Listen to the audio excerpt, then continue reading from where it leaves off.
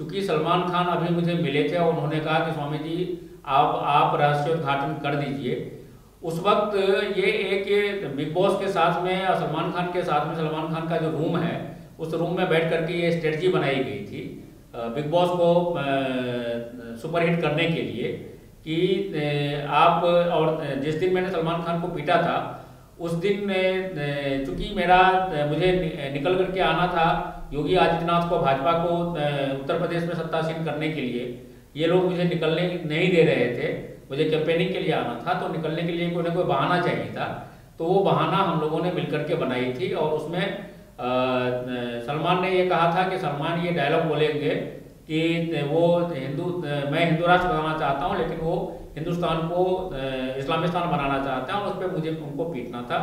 जो मुझे करना पड़ा, ये मैं पहली बार राष्ट्रोद्घाटन कर रहा हूँ, क्योंकि अभी जो मैं ये शुक्ला सिद्धार्थ शुक्ला को विनर बनाने के लिए, जो फिक्सिंग करने के लिए मैं बॉम्बे में गया था तो इस बार, इस बारे में बिग बॉस से और सलमान से मेरी चर्चा हुई।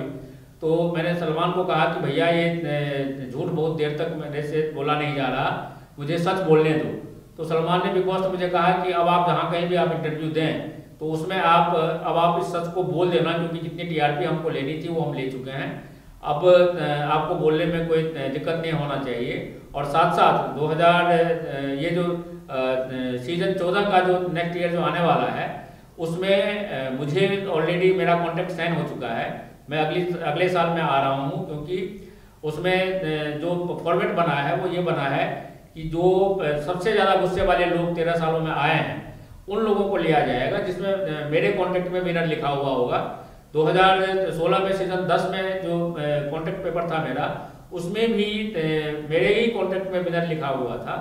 लेकिन चूँकि मुझे यूपी में भाजपा को जिताना था, मुझे आना था तो मैंने विनर होने का मैंने इंतज़ार नहीं किया और इस स्ट्रेटजी के तहत सलमान खान और बिग बॉस के कहने पर मैं सलमान खान को पीट करके मैं बाहर आ गया।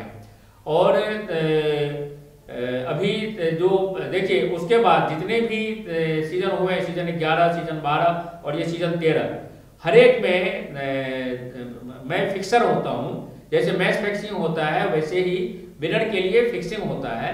जैसे शिल्पा के लिए मैंने फिक्स किया था, वो मेरी बेटी थी। तो मनवीर के लिए मैंने फिक्स किया था, क्योंकि जब मैं पीट करके बाहर आया तो मैंने सलमान खान और बिग बॉस को राजनायक वगैरह को बुला करके मैंने कहा कि चलो, मैं तो जा रहा हूँ इलेक्शन की वजह से। लेकिन मनवीर को मैंने कहा था कि 16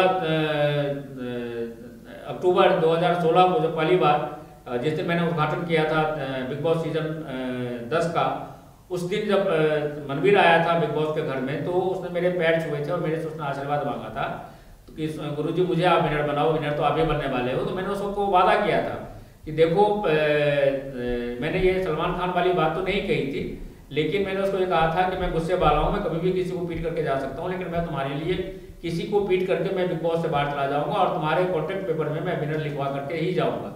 उस बात के लिए मैं अभी भी आभारी हूँ मनवीर आज भी मेरे से मिलता रहता है। बॉम्बे में उसने अपना मकान ले लिया है और उसको मैं बहुत सारी फ़िल्में भी दिलवाने वाला हूँ। अभी मनवीर मेरे से कल दिल्ली में मिलने के लिए बॉम्बे के मॉर्निंग फ़्लाइट से आ रहा है और जितने भी आज तक जितने भी विनर्स बने हैं सीज़न वन से लेकर के सीज़न तेरह तक, वो सब मेरे पास में हमेशा बॉम्बे में भी आते रहते हैं। बॉम्बे में मलाड वेस्ट में मेरा आश्रम है। वहाँ ये सारे फ़िल्म वाले भी आते हैं, मेरे फ़िल्म टैलेंट बैंक है Om ji film talent bank के नाम से, जिसमें मैंने दुनिया भर के फ़िल्म स्टारों को मैंने सुपर हीरो हीरोइन बनाया है। तो ये एक फिक्स था, जिसके वजह से सलमान खान को मैंने पीटा था। और अभी मनवीर बना, शिल्पा बनी ये अभी सिद्धार्थ शुक्ला बने, ये भी मैंने ही फिक्स किया था, क्योंकि फिक्सिंग के लिए सबसे बड़ी दिक्कत ये होती है कि उसमें फिफ्टी परसेंट जो अमाउंट है, वो हमको सलमान खान का जो बीइंग ह्यूमन ऑर्गेनाइजेशन है, उसके लिए हमको देना पड़ता है। जैसे आपने मनवीर वाले में आपने देख ही लिया था उस वक्त तो मैंने सलमान से अनाउंस ही करवा दिया था कि 40 लाख का अमाउंट था, उसमें से 20 लाख सलमान के बीइंग ह्यूमन को हमने दिलवा दिया था।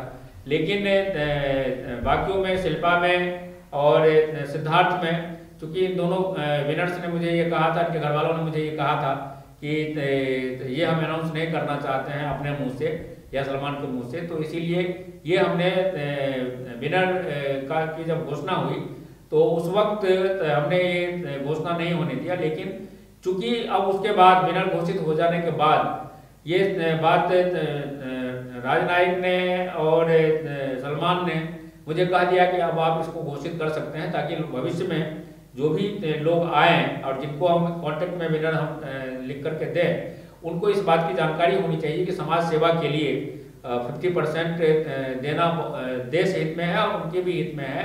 क्योंकि बी ह्यूमन जो ऑर्गेनाइजेशन है सलमान खान का, वो समाज सेवा के लिए लोगों की वो मदद करते हैं।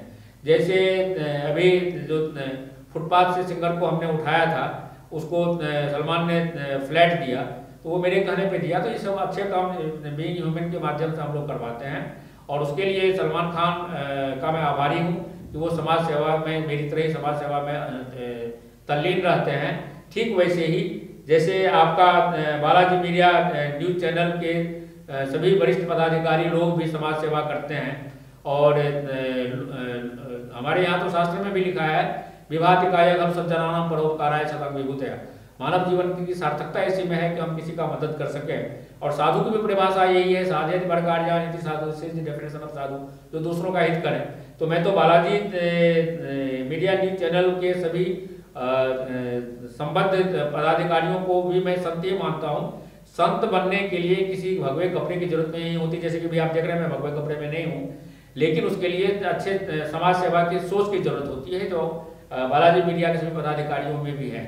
और मैं आप लोगों से मैं ये निवेदन करूँगा कि आप लोग अगले साल जो सीज़न चौदह का जो मैं विनर बनने वाला हूँ, उसको आप लोग अरबों के तादाद में आप लोग देख करके आप उसके टीआरपी को बढ़ाना, जिससे कि बिग ब्रदर्स से भी ज़्यादा बिग बॉस का टीआरपी बढ़ सके।